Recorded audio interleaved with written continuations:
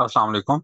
I am Dr. Syed Ali Mardan Azmi. Welcome to my channel. In this lecture, we will learn how we can solve triple iterated integrals. For this purpose, we will learn exercise 15.5, question number 10 from Thomas Calculus 12th edition book. In triple integrals, we have to know some terminologies before we can start solving it. In triple integrals, we have three variables involved. Here you can see I have chosen three colors, red color, blue color, and then green color. The variable in the most inner side is called inner variable. So in this case, in question number 10, z is our inner variable. After z, the variable indicated with blue color is our central variable. And after this, this variable x, which is most outer variable is called outer variable. The limits of z are 0 to 3 minus 3x minus y. The limits of y are 0 to 3 minus 3x and the limits of x are 0 to 1. We will always start integration from most inner variable and we will move towards outer variable. It means in order to solve this integral, first of all, we will start integrating this particular question with respect to z and then on the outcomes of integration with respect to z, we will apply integration with respect to y. And after integrating with respect to y, we will apply rule of integration with respect to x. And second most important thing, the limits of inner and central variable may be constant, may be variable, just like you can see the limits of z and y. The limits of z and y in the lower limit is constant number, but in the upper limit, the limits of y and z are in variable terms. But the limits of outer variable is always constant because we are calculating a definite integral.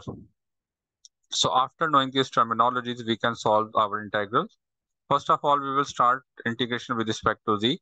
Integration of dz is simply z for the limit 0 to 3 minus 3x minus y in the next step, we will apply fundamental theorem of calculus, upper limit minus lower limit. Making the simplification, we have 3 minus 3x minus y.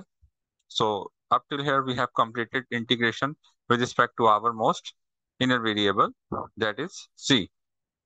After this, we will start integrating this function 3 minus 3x minus y, which is the outcome of integration of inner variable with respect to y. So for integrating this term, first of all, we must revise a simple question or simple example from calculus 1 or single variable calculus. If we have to integrate 3x plus 5 dx, how we can integrate it? In the first term, 3x, 3 remain as it is, and we will apply rule of integration on x square over 2. On x square, so we have x square over 2 plus. In the second term, the integration of 5 is 5x plus c is the constant of integration. In this integral, 3x plus 5, we have two kinds of constant. First constant is 3 and other constant is 5. The first constant 3 is being multiplied with a variable and second constant 5 is independent of the variable. And the treatment of both variable is different. If constant term is being multiplied with the variable, it remains as it is. But if the constant term is being added or subtracted in a variable term, we will associate the variable with respect to which we are performing the integration. So now coming back to our question. In this question, limit from 0 to 1, limit from 0 to 3 minus 3x. We have to integrate 3 minus 3x minus y with respect to y. So with respect to y, x remains constant. So 3 minus 3x is a constant term and y is our required variable. So we will deal 3 minus 3x just like 5. So in the next step, we will perform the integration.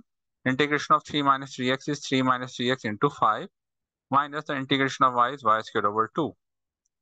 By power formula, for the limit 0 to 3 minus 3x. In the next step, after integrating, we will apply fundamental theorem of calculus, upper limit minus lower limit. So for upper limit, we will replace y with 3 minus 3x in each term. And for lower limit, we will replace y with 0 in each term. In the second bracket, all the terms become 0. And from the first bracket, we have after simplification 3 minus 3x whole square minus 3 minus 3x whole square over 2.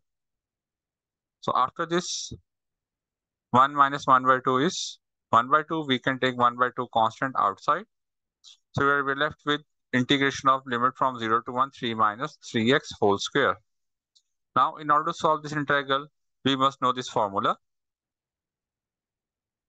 And this formula is f of x raised to power n into f prime of x. f prime is the derivative of f of x dx. This is equal to f of x raised to power n plus 1 over n plus 1 plus c, where c is the constant of integration.